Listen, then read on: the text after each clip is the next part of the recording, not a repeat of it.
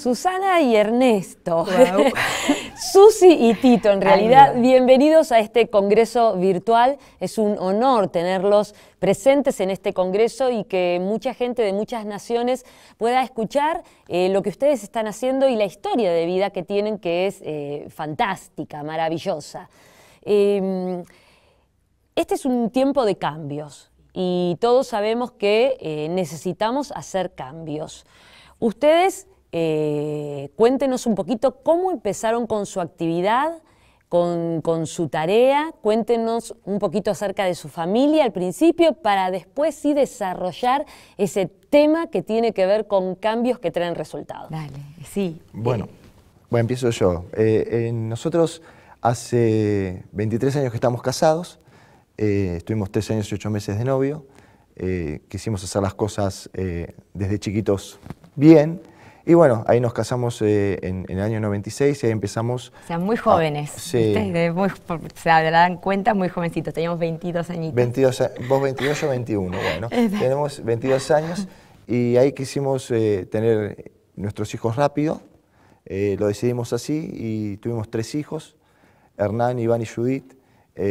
bueno, Hernán el, el, el mayor hoy está en el cielo Iván tiene 18 y Judith tiene 16 años y así se compone nuestra familia. Eh, así que bueno, eh, ahí empezó todo un, desafío por delante y bueno, y después empezó lo que sería el, trabajo o, el, estar en contacto con preadolescentes. Y el cambio sí, desde el principio, porque ya de por sí empezar con una familia y con una historia nueva se cambia y cambiamos también en nuestras formas de organizar y de ver las cosas. Yo, siendo maestra jardinera, acostumbrada a estar rodeada con chicos chiquitos, este, de golpe y porrazo empecé a amar porque sale un amor natural por una generación nueva, por una generación grande, que son los preadolescentes, eh, los chicos de 9 a 14 años, ahí es donde empezamos a desarrollar una actividad en donde nunca la habíamos pensado ni soñado, pero sin embargo así, la vida que va cambiando y que te va poniendo los pasos a seguir y te marca cómo avanzar, esta a veces los cambios los elegimos y a veces no, pero lo importante y lo bueno es eso, es estar dispuestos a recibir ese cambio, ¿no? Y, bueno, y sí, hoy por hoy estamos trabajando mucho con, los preadolescentes y estamos muy metidos en lo que es su mundo y cuál es su realidad y lo que les está pasando. ¿Cuántos años trabajando con preadolescentes? 20 años. 20, años. ¿Y qué cambios vieron ustedes en los preadolescentes? Debe haber una gran diferencia entre lo que eran los preadolescentes de hace 20 años atrás a lo que son ahora. ¿Cuáles son los principales cambios que ustedes ven? Sí, lo, que más notamos es como que la adolescencia, la edad de tal vez de nuestra etapa, como adolescentes, que lo que veíamos a los 18, 19, 20 años, soy un chico lo veía a los 12, o a los 13, o a los 11, es como que se adelantó en cierta manera esa etapa. Entonces todos esos conflictos que tal vez nosotros a los 18 años lo vivíamos, hoy un chico lo vive a los 12, Y cuando comenzamos nosotros también, el chico era más chico y jugaba, jugaba más. Hoy por hoy ya un chico que viene con 9, 10 años ya tienen la cabeza en otra cosa. Nos sorprendió hace poco ver que vinieron dos nenas de 9 años y vinieron con bebotas. Y eso es como que es lo, raro hoy por hoy verlo, porque ya la mayoría de las chicas vienen y vienen con la mentalidad de, este, bueno, tengo que conocer a un chico, tengo que tener sí o sí en relación con un chico, esto, tengo que competir este, con, con alguien más grande que de por sí el cambio en la naturaleza está. Las chicas de 12 años parecen mujeres, mujeres este, 18 con el cuerpo y con la mentalidad. Y lo que notamos que está muy marcado que hoy por hoy cada vez menos les interesa la seriedad de lo que es la familia.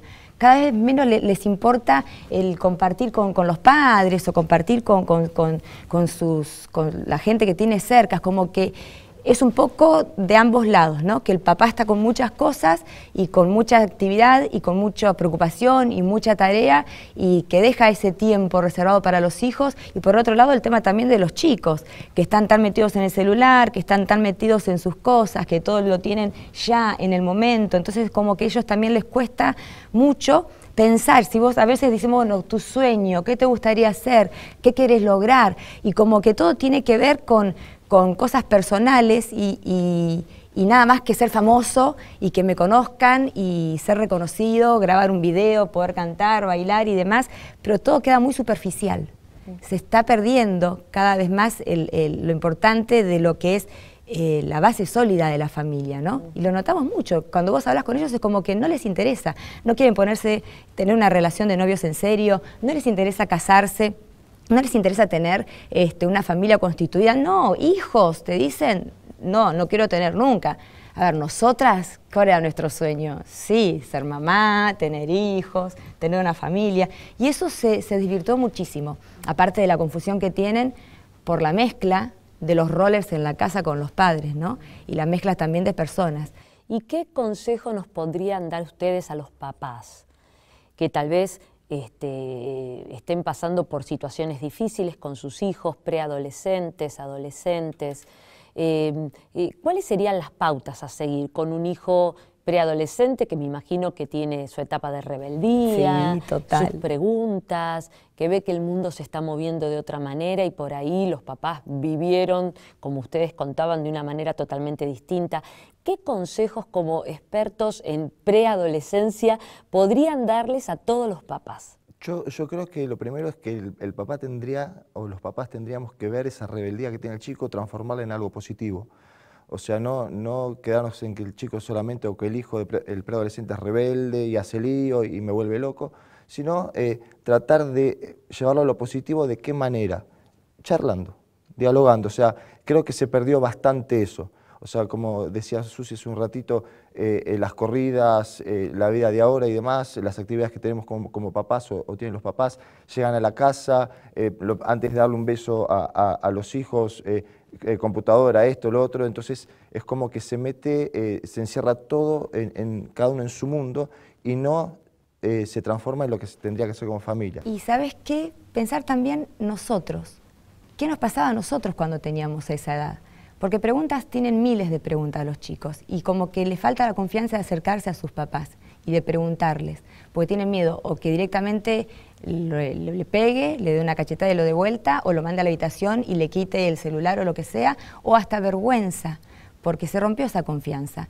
Y creo que no hay nada más hermoso que que en la familia esté la seguridad, que los chicos, nuestros hijos y nosotros nos sintamos seguros. Entonces, si nosotros vamos armando un marco de confianza, de diálogo, de paz, de, seguridad, de estar conformes. A veces no vamos a estar conformes con todo, pero sí con lo que estamos haciendo con nuestros hijos y que ellos noten que nuestros hijos son la mejor representación nuestra.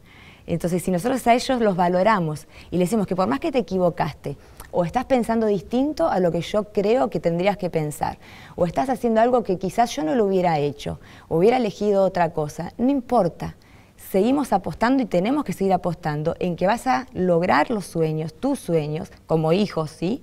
Y que vas a poder eh, mejorar esta versión de mamá o de papá que tenemos como ejemplos, que nos equivocamos. Pero si volvemos a, esos, a esas cosas básicas, que son esas fortalezas que cuando estamos juntos nos unimos y nos sentimos bien, entonces no vamos a estar tan perdidos. Escuchemos, escuchemos, aunque no entendamos nada, escuchémoslos, porque ellos, ellos sí tienen algo para contarnos y ellos siempre nos enseñan también. Este, no solamente nos van a enseñar cómo subir una foto este, en, Instagram o en Snapchat, no, no, solamente eso, ¿sí? o cómo hago para abrir una, una nueva eh, página, nos pueden enseñar un montonazo de cosas, porque el corazón del preadolescente, yo siempre lo digo, es, tiene la simpleza que nos gustaría tener a todas las personas, la transparencia y también tiene esa inteligencia y esa fuerza nueva que a veces con el tiempo nosotros nos vamos eh, gastando, nos vamos acomodando. Ellos nos impulsan sí o sí a poder estar siempre con ganas, con energía, con alegría, porque ellos no tienen ese, ese rollo armado ni esa historia, al contrario, se manejan así. Entonces, eh, no sé, por nuestra parte nos encantaría pedirles a todos los papás que vuelvan a sentir eso, esa necesidad de poder mirarlos a los ojos y de poder buscar qué me gustaría a mí que hubieran hecho conmigo en este momento de conflicto que estás pasando vos. Y si retrocedemos un poquito, vamos a entender y vamos a poder responderlos. A veces a los chicos yo les digo, sí, pues mi mamá no me escucha, no me entiende, no me puedo hablar con ella, parece que hablo en otro idioma, me dice cualquier cosa. Bueno, listo, bárbaro. A ver, revertí los roles. Ponete vos en el lugar de mamá o de papá. ¿Vos qué harías? Muy bueno. y se ponen a pensar, uh, tenés razón. Y bueno, creo que es un ida y vuelta, ¿no? claro. Ellos ¿Y cómo hacen ustedes cuando llega un preadolescente a los grupos que ustedes tienen para ayudarlos a soñar? Porque por ahí muchos vienen con familias desgastadas, hogares que este, están pasando por crisis y sus papás, como vos decías recién, tal vez no soñaron nunca, no se atrevieron a soñar o creen que ya no tienen posibilidad de lograr algo. ¿Cómo cuando el chico recién llega, el preadolescente llega, cómo les ayudan ustedes a soñar? Mira, eh, nosotros... ¿Qué es lo eh, primero que haces cuando viene un Lo primero es abrazarlo. Abrazarlo y que la, eh, la primera impresión para el chico, para el preadolescente, sea la que él quiere. Sencillamente una, la primera impresión que sea algo genuino. Ellos no buscan grandes cosas, buscan tal vez algo simple pero que sea verdadero. Entonces, al lugar donde van y se acercan, el, hecho de abrazarlo, te estábamos esperando, qué bueno que estés acá, el chico se siente que no le estás, eh, no te estás poniendo una careta ni vendiendo ninguna, ninguna otra cosa. Entonces, ahí es donde él eh, ya entra con el pie derecho, como se dice. De, otra forma, en, todo lo que él ve en, digamos, en la sociedad y demás, es como que todo el tiempo hay caretas, hay distintos mensajes, y en esa primera impresión es la que más vale, es la, que, la que realmente él ve. Ellos te escanean, o sea, es constante. Te miran de arriba para abajo en cada gesto. Parece que están mirando, mirando otro lado, pero no. Ellos constantemente te están observando y en base a lo que vos hagas, no solo de hecho, sino también de palabra, que coincida. Y de esa manera es el primer comienzo. Ahora, ¿qué pasa, por ejemplo, cuando, eh, porque por ahí muchos papás que están viendo ahora este taller, piensan, bueno, pero mi hijo preadolescente o adolescente me rechaza cuando lo quiero abrazar. ¿Cómo logran ustedes ese contacto sin que ese chico los rechace?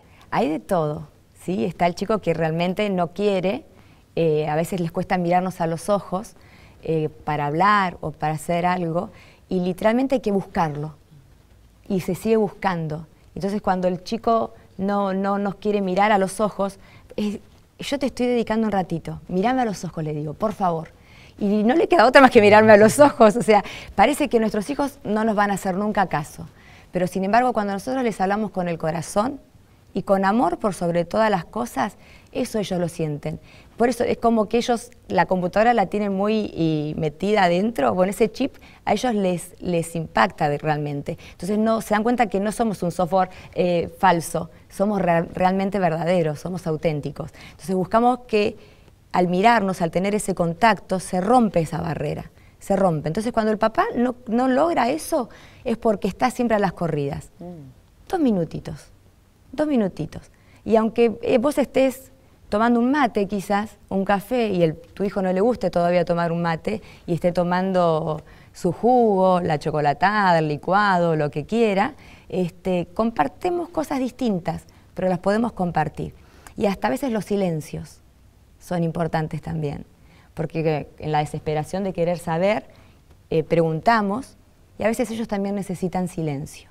Entonces no, hay una fórmula, porque hay tantos tipos de familia como tipos de personas, eso seguro. Y cada persona y cada chico tiene su tiempo, tiene su manera y su necesidad. ¿Quién es mejor que los papás para descubrirla?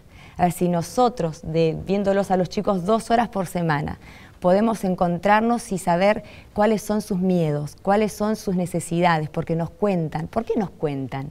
Y nos cuentan porque les damos el espacio, nos cuentan porque les damos la posibilidad de hacerlo. Quiere decir que el chico no solamente quiere ver algo en Netflix, él quiere tener contacto, él lo necesita y lo están pidiendo a gritos. Y por eso toda tanta, tanta confusión en el medio y somos los papás y somos bueno, los líderes o las personas que estamos en contacto con ellos los que les tenemos que dar la seguridad de que aunque parezca que está todo muy difícil, ese sueño que a veces ¿sabes? cuesta mucho, vos preguntabas hace un ratito, hay chicos que no saben lo que es soñar, no saben, porque vienen de un contexto en donde sí, sí vamos a poder ir de vacaciones, sí vamos a poder hacer esto y ven que no lo logran, que no lo logran. Entonces cuando nosotros nos sentamos los abrazamos, los miramos y les vamos contando también nuestra historia y cómo nosotros, aunque parecía imposible, pudimos salir y pudimos avanzar y lograr cosas también. Y aunque tengamos la edad que tengamos, podemos seguir entendiéndolos, se dan cuenta que no es un verso, porque están viendo que hay una realidad que no es un cuentito, sino que la ven. Cuando el, chico ve que lo que le estás diciendo es así, no duda.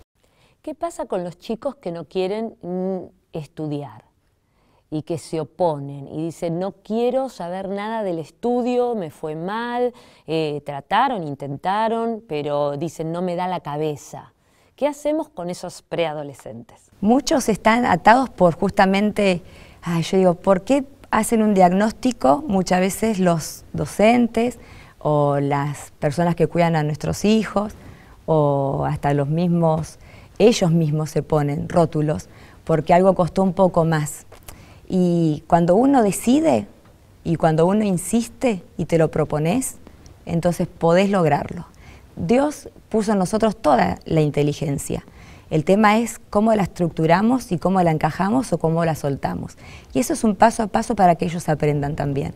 Ellos tienen que aprender a hacerlo. ¿Y cómo se hace? Dándoles la fuerza y la seguridad de que sí, lo tenés que lograr, porque es la manera en la que vos te vas a destacar.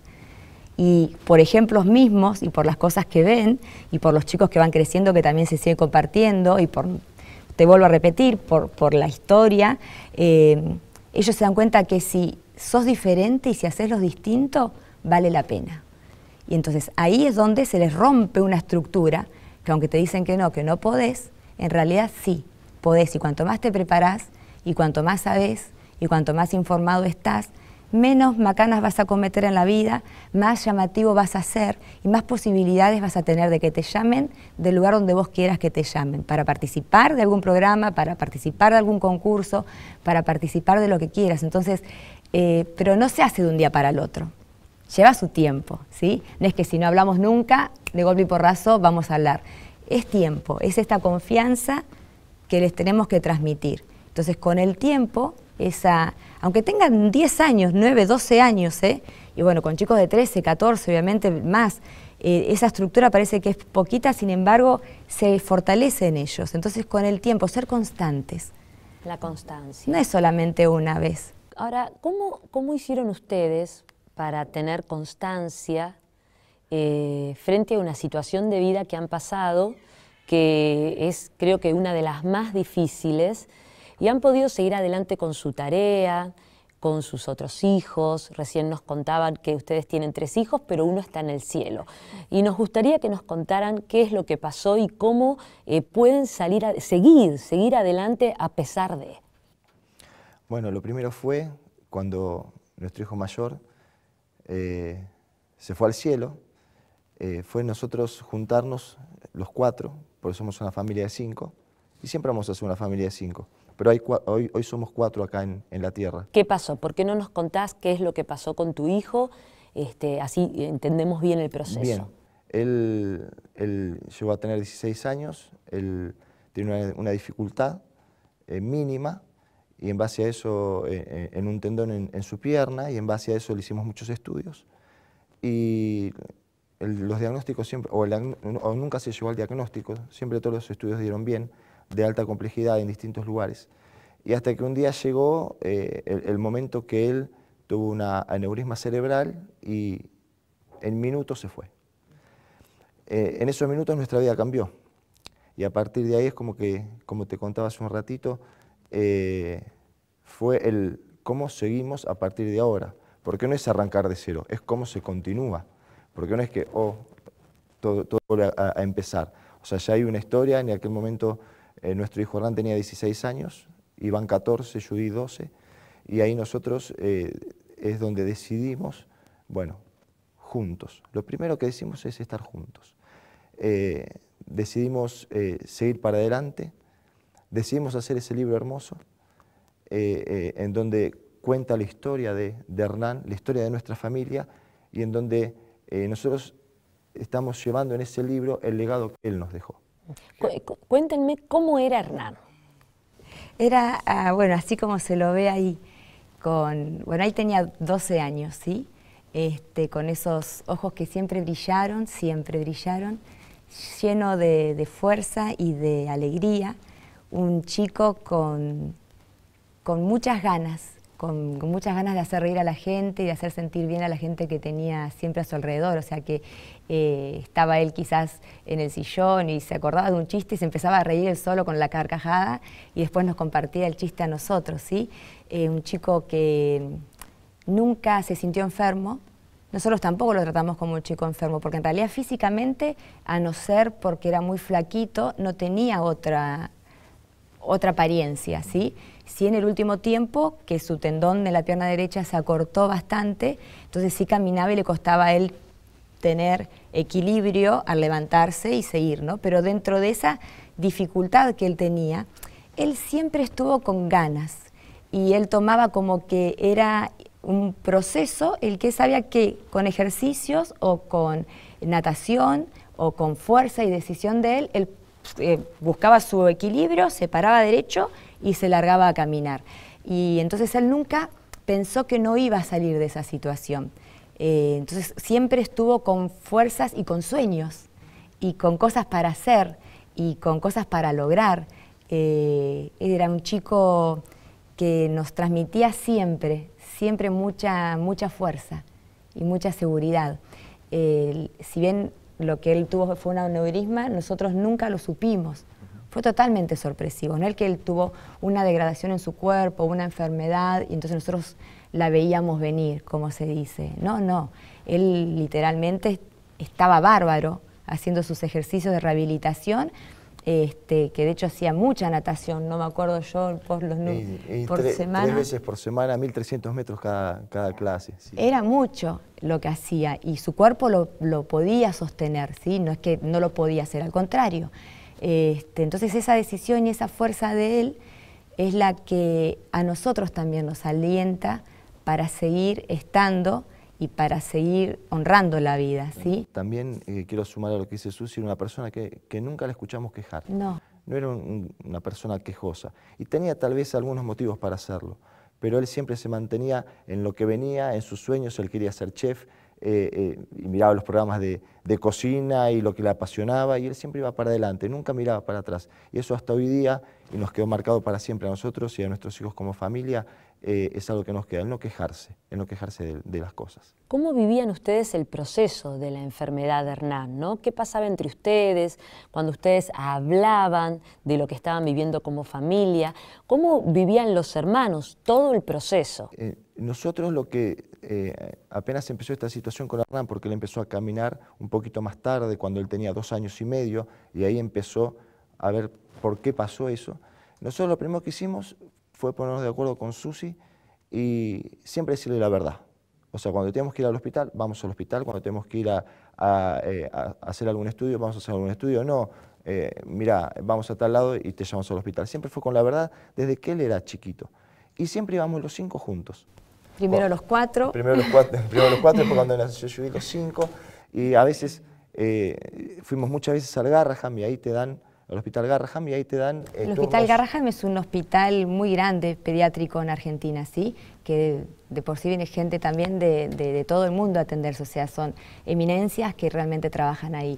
Y tuvimos la posibilidad de que realmente a él lo vieran gente muy, muy muy especializada, y todos decían lo mismo, que no le encontraban nada, diagnosticaban algo pero no encontraban nada, pero siempre, siempre dijimos nosotros la verdad nuestra, como papás, ¿sí? esa información que nos bajaban los médicos la, transmitíamos, o sea que no es que había algo que no se entendía o no se sabía. Y, siempre nos manejábamos los, los cinco en, en, bloque. A veces íbamos eh, turnos a las 4 de la mañana, 5 de la mañana. Bueno, íbamos los cinco. Nos quedamos en el auto durmiendo hasta que llegaba el, momento de pasar al estudio con él.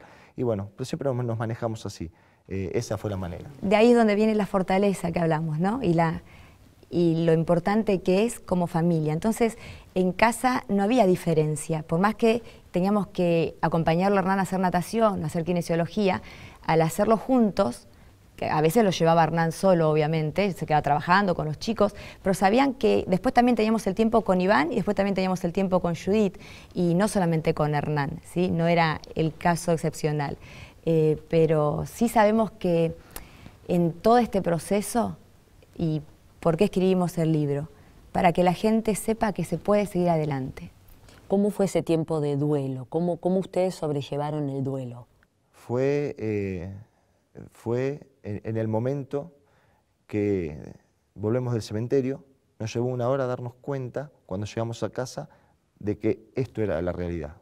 O sea, no andar estirando nada. O sea, Hernán ya no va a estar más acá.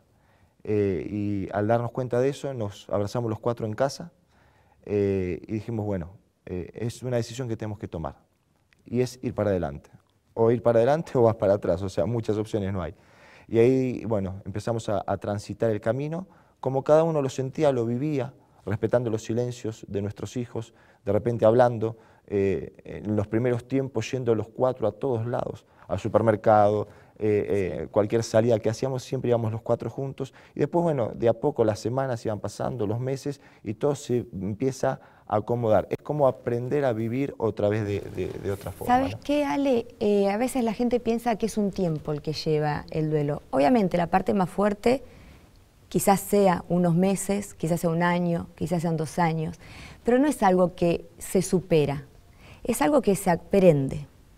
Yo quiero que, que todos sepan, ¿sí? Porque hay personas que nos dicen, vos ahora te reís y por qué vos ahora te reís, ya pasó, ya está. Y nosotros nos reímos y nosotros avanzamos y seguimos viviendo la vida porque lo decidimos hacer. Lo que no quita que no duela, lo que no quita que uno se olvide, lo que no quita que, que oh, no, ahora ya no somos cinco, somos cuatro. No, no, eso es una mentira y eso eh, de hecho no tiene que pasar. Este, ese acomodarse y ese aprendizaje cada día tiene su cosa nueva para aprender. Hace una semana atrás agarré el libro de recetas y encontré una receta que dejó escrita Hernán. Y ya la había hecho, pero leer y ver su letra para mí fue como volver a hace tres años atrás. Entonces no es que hay algo que uno ya supera, es el aprender. Pero el aprender en, todos los aspectos y poniendo siempre la decisión de que quiero ir por más. Si ustedes tuvieran que darle hoy, este, mirando a la cámara, eh, un consejo tal vez a papás, que han perdido un hijo y que no saben cómo, cómo transitar el duelo. ¿Qué le podrían decir? Bueno, yo por mi lado es eh, decirte que eh, estés lo más junto que puedas con tu familia, darle para adelante, o sea, no, no te dejes con una opción de, bueno, eh, puedo hacer tal o cual cosa, siempre mira para adelante, se puede, se puede seguir, se puede seguir, hay una vida que continúa, hay muchos años por vivir, siempre mira para adelante. Y pone en primer lugar las cosas lindas de la vida. Nosotros aprendemos, estamos, seguimos aprendiendo a destacar las cosas más importantes, a destacar lo bello, a destacar lo hermoso, y no permitir que el dolor ocupe todo lugar en nuestro corazón, sino que en este acomodar también ese sentimiento, esa emoción se acomode y pueda salir lo más importante, que es la alegría, que es ver lo bello de la vida, que es saber que los sueños hay que seguir cumpliéndolos, que siempre tenemos cosas para aprender, que podemos acomodarnos porque Dios nos hizo seres adaptables y yo le doy gracias a Dios por eso todo el tiempo, porque no importa este, cuál es la rutina que uno tiene, lo importante es levantarse y decidir, hoy tiene que ser un gran día. Hoy voy a volver a amarlo porque lo elegí hace 23 años. Hoy voy a seguir avanzando. Hoy me voy a poner linda por mí, más allá de todas las cosas. Decidir, decidir amar la vida. Decidir que lo que hacemos no es solamente porque para pasarla bien en el momento, sino que todo tiene, tiene una consecuencia. Y estamos para dejar algo muy grande y para marcar una diferencia muy especial. Eh, amar amar las cosas lindas, disfrutar de eso lindo. No es imposible. Siempre esa persona va a estar, siempre va a estar con nosotros. Pero si nosotros nos valoramos y reconocemos que tenemos muchas cosas para seguir haciendo, se puede. Se puede disfrutar. Gracias, gracias Tito, gracias Susi, gracias por enseñarnos que a pesar de que a veces en la vida tenemos cambios inesperados, se puede salir adelante y hacer algo tan hermoso como están haciendo ustedes de amar a tantos preadolescentes. Muchas gracias. Gracias, Ale. Gracias, a vos también. Gracias.